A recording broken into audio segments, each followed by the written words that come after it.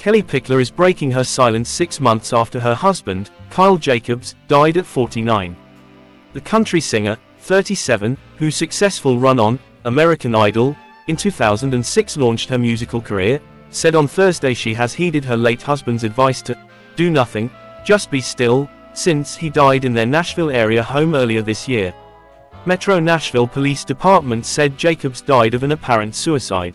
I am planning an intimate memorial for my husband, which will happen later this fall, that is what Kyle would have wanted, Pickler said in a statement to the Nashville Tennessean, part of the USA Today network, through a representative.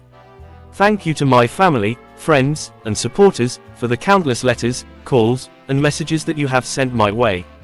It has truly touched my soul and it's helping me get through the darkest time in my life, she said. As many of you have told me, you are all in my prayers.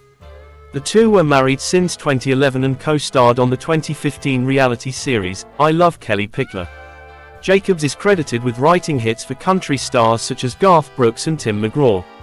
He co-produced Lee Brice's, I Drive Your Truck, which won Song of the Year at the Country Music Association Awards and the Academy of Country Music Awards. Pickler co-wrote the title track of her 2013 album, The Woman I Am, with Jacobs. Nobody knows the woman I am better than my husband, she told USA Today in November 2013. There was no way I could try to be anything I'm not, because he could definitely call me on it,